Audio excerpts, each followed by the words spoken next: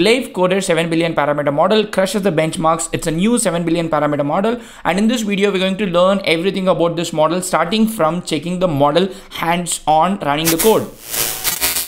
This is the model arena where you can compare the GPT-4 and also Glaive Coder 7 billion parameter model. It's not a fair comparison, but that's what we have got to do right now. So we have this interface where I've asked this model and also GPT-4 to create a simple Python app. So all I want is like a Python app with I didn't specify whether I wanted with GUI, whether without GUI, but I just gave that and took the code. First, we are testing the code from Glaive Coder, and very first thing we are getting an error. So the error is a very simple error for us to fix, but I wanted to make sure that if it actually made an indentation error and it has made an indentation error, so we can fix this error very simply. All we have to do is fix the indentation. Also, there is an unwanted code. We can fix the code and then try to run the code finally. So once we fix the code and then try to run the code itself, so the code works works fine. I mean, the code runs fine. But what I found out not working fine is that the hangman structure is quite good. But when I started guessing the letters, it did not actually tell me whether, you know, I guessed it correctly or whether it filled in. But it kind of felt restarting it. I didn't feel the best experience at the start.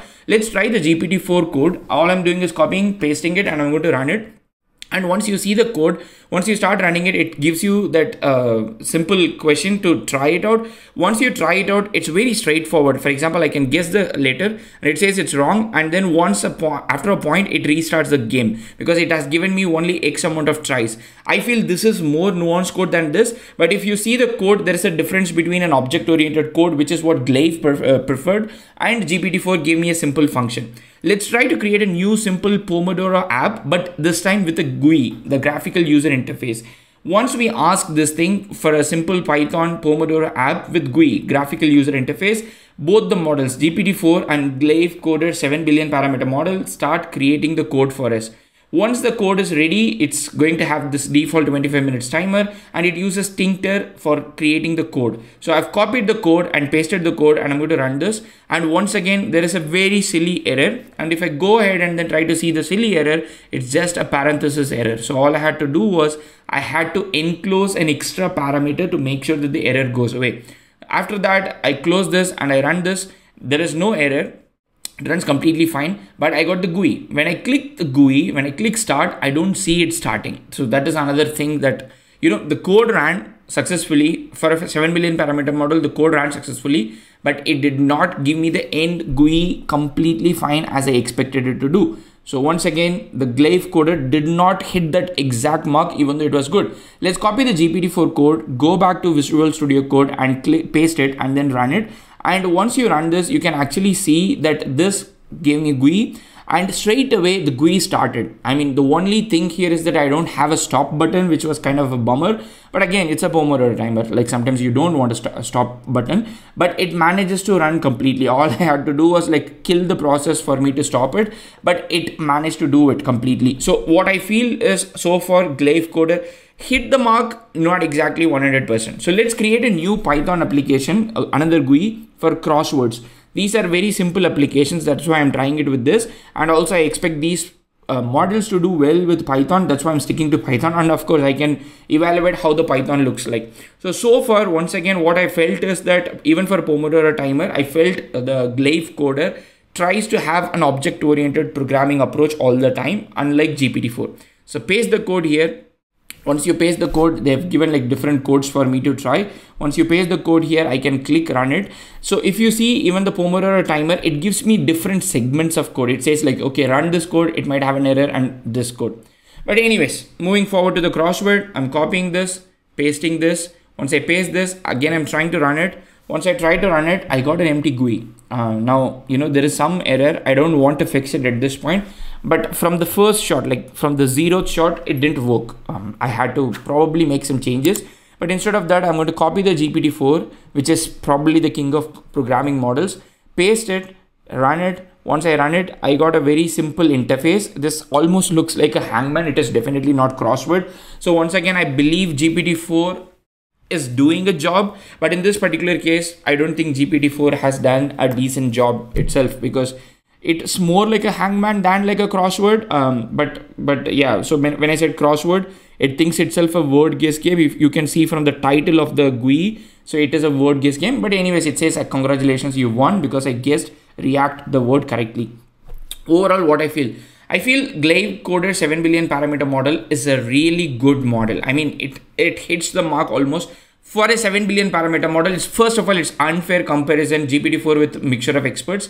This is a 7 billion parameter model that is trained on a data set of 140,000 programming related problems and solutions from Glaive's synthetic data generation platform. It's fine tuned from Code Llama 7 billion parameter model, follows the same prompting structure like Llama 2 and Code Llama and it has achieved 63.1% pass 1 human eval and 45.2 pass 1 mbpp while the benchmarks don't mean anything or maybe they mean something it's not like the 100% correct we managed to test the model and i feel the model is really good the model is strong the fact that the data set that they use the model to train is also released in Apache 2.0. So you can build on top of the data and then do the fine tuning if you want to do. The model comes completely, it's a 27 GB. I, I don't know if I've seen 27 GB for a 7 billion parameter model. I'll try to run it on Google Colab, but at least for this point, I believe this model and the benchmarks look good and uh, it's a matter of time that it is going to improve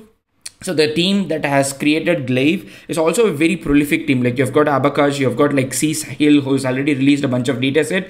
I think this is an exciting opportunity. Let's try one final example where we are going to give a more complicated instruction. So in this case, we are giving an instruction for it to create a colorful Python GUI where it has to take my name as an input and it has to give me hello with my name. It's like a greeting application. And the way I've given the prompt, it has certain nuances that the model has to understand.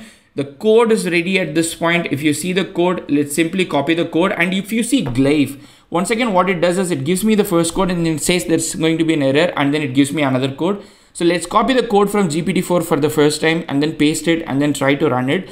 Once we run it, it gives the GUI for us, uh, enter your name and it gives the button even greet. The button is greet, it says a greeting app. And when I say Abdul, it says hello Abdul. When I say one little coder, click greet, it says hello one little coder it does a pretty good job like without any single error i managed to run this very successfully it's quite um, amazing in glaive i read through the prompt i read through the result and picked up the last one which says like you know it should solve all the errors once i picked the last one this particular case very shockingly it's not object oriented. There is no class there is nothing. It's just a simple function. I copy this entire thing paste it. And once i start running and this time this very time it gives me enter your name Abdul submit, it says hello Abdul, except it's not a pop-up, but it does a pretty good job. It says in one little coder, hello one little coder. I kind of like this application um, almost as same as like I like the GPT-4. In the final test, I think Glaive actually matched with what GPT-4 can do. And I believe that this is going to improve with this new company Glaive trying to make large language models for the use cases that you want.